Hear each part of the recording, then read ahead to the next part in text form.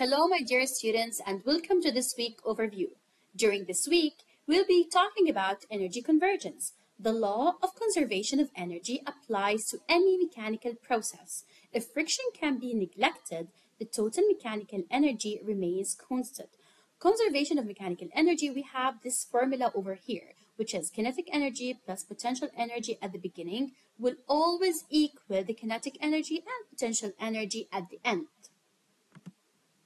We have an example here. So at a construction site, a 1.5 kilogram brick is dropped from rest and hits the ground at a speed of 26 meter per second. Assuming air resistance can be ignored, calculate the gravitational potential energy of the brick before it was dropped. Firstly, we are going to analyze the question. We are going to understand what are the given information. So technically, the given information in this example is that mass, which is 1.5 kilogram, and the speed, which is 26 meter per second. So we are going to write what is given to us. So what is unknown and what I have to find is the gravitational potential energy of the brick before it was dropped. In this occasion, the gravitational potential energy, it is abbreviated as PE. So we are going to write our equation, which is kinetic energy plus PE at the beginning will always equal KE, which is kinetic energy, and potential energy at the end. So we are going to take the concept and the formula of the kinetic energy, which equals half mv squared. m is 1.5 and v is 26 meter per second. I'm going to substitute for this formula half times 1.5 kilograms times 26 meter per second squared. Using your calculators, you will have with 507 joules.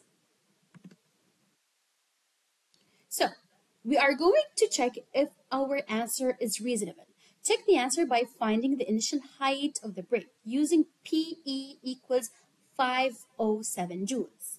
The original formula for gravitational potential energy, which equals mass times g, which is the gravitational constant, times h. Substituting the mass and the g will give us the h, which is the height, equals 34.5 meter.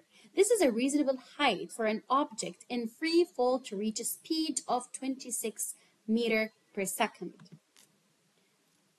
Another example, a 10 kilogram rock is dropped and hits the ground below at a speed of 60 meter per second. Calculate the gravitation potential energy of the rock before it was dropped. You can ignore the effects of the friction. So the same thing we are going to do. The potential energy equals the kinetic energy at the end. The beginning equals the end, which equals half mv squared. Half times 10 kilogram, which is the m, and the v equals 60 meter per second all squared.